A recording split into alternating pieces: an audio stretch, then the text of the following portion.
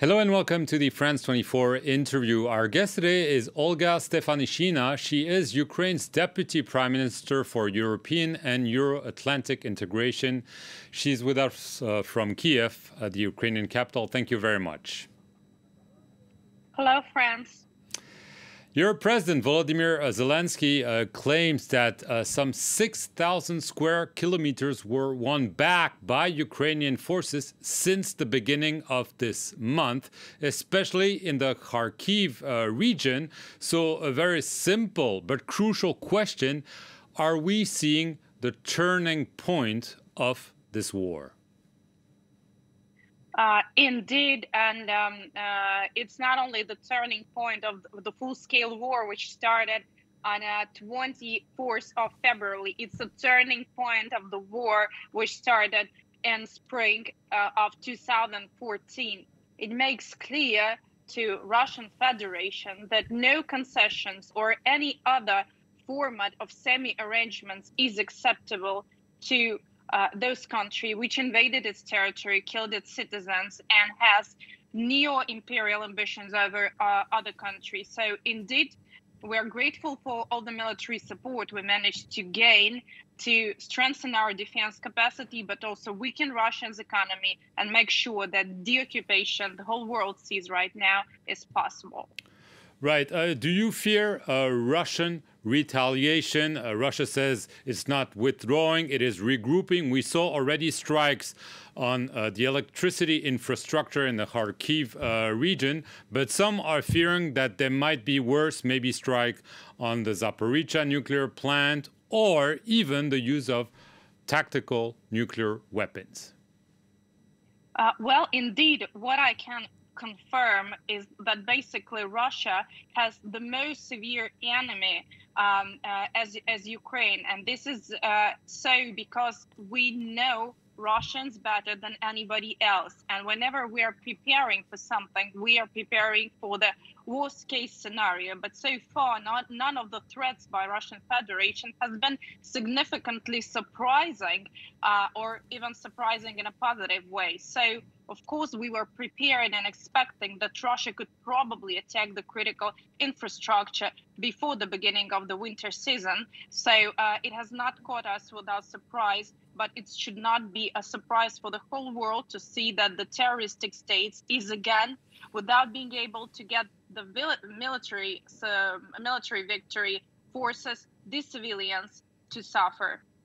So uh, you really think uh, that uh, for Russia, uh, it is uh, the beginning of the end in Ukraine, and that uh, what is happening on the ground, the Russian people, not only the government or the military, are beginning to realize this?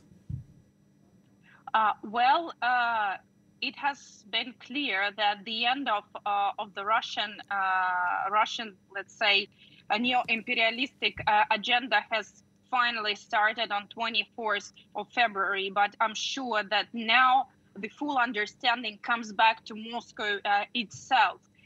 without, regardless any ambitions the Kremlin might have, they are exhausted with their resources. They are stick uh, uh, stick and tightened with the sanctions, and whatever they do in the gas manipulation only serves the agenda for bigger restrictions because Russia has now shown the whole world that they are not a reliable partner, that they cannot uh, ensure the security of uh, supplies and the security of people in Europe and around the world. So they are killing themselves, and Ukrainian armed forces are helping them with that. Right. Uh, so uh, there were uh, a few months ago negotiations between Russia and Ukraine. They went uh, nowhere. Have the Russians in recent days, uh, seeing what they're seeing on the ground, conveyed to you that they wanted to sit down again and discuss, or not at all? Uh, indeed, there's been sort of a public and non-public uh, outreach from various um, various um, groups of the of the Russian officials.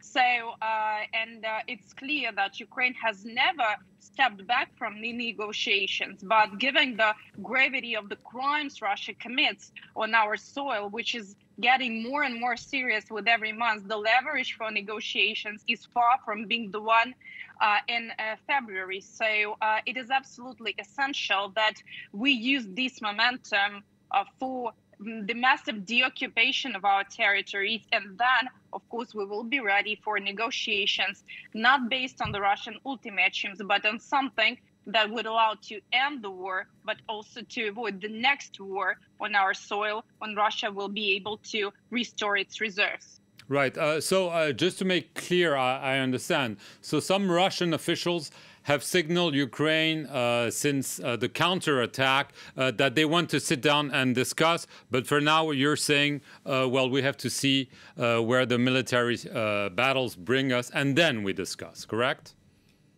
Uh, indeed. So uh, we should not only speak about the negotiations itself, but the purpose of the outreach from the Russian Federation. They want to um, uh, let's say, put our attention away and stop something which has been strategically planned for a month before.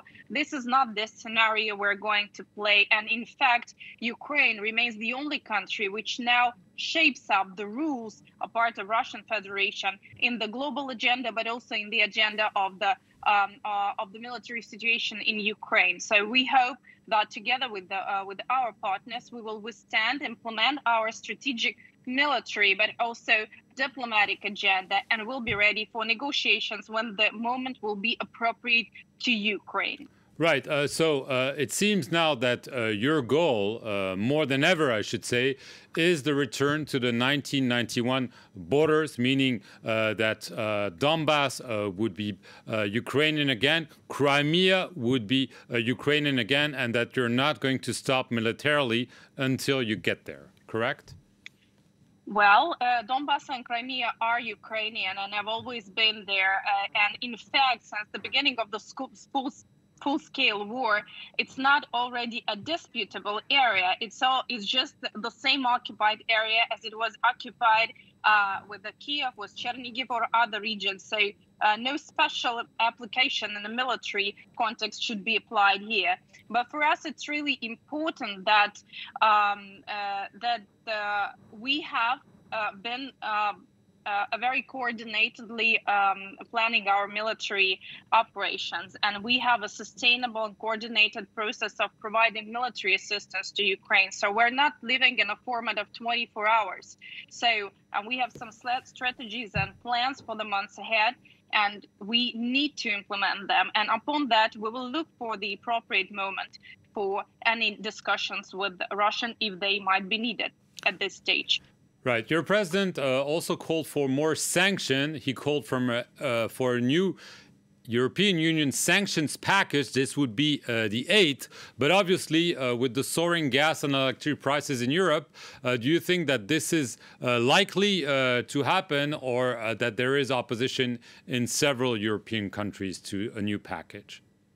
Well, what we hear from the capitals and from the Brussels that the the ultimate goal of imposing um, package after package sanctions is preserving the unity. While preserving this unity and managing to seek for the mu- uh, mutually arranged package of sanctions does not always lead to the effect of the restrictiveness of measures needed to be taken. So we call upon European leaders to finally recognize the fact that the gas and energy resources are the major instrument of weakness of Russian Federation uh, and uh, uh, weakness of European countries and the major source of Russian instrument of blackmailing. So this is the area from which most of the military operations has been sponsored. So sanctions should remain strong and cover the most vulnerable areas of the Russian Federation, which is gas. And in fact, uh, uh, there's no other scenario because uh, Russia has already stopped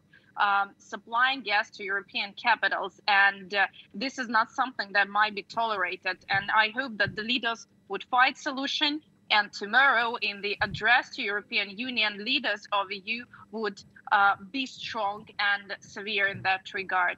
Just as, as a last question, uh, you're in charge of uh, European and Euro-Atlantic integration. Uh, do you think uh, that Ukraine, having resisted the initial onslaught on Kiev, now seemingly, uh, let's uh, remain cautious, but turning the tide, that this shows that you are indeed a real candidate for EU and NATO integration in the not so distant future?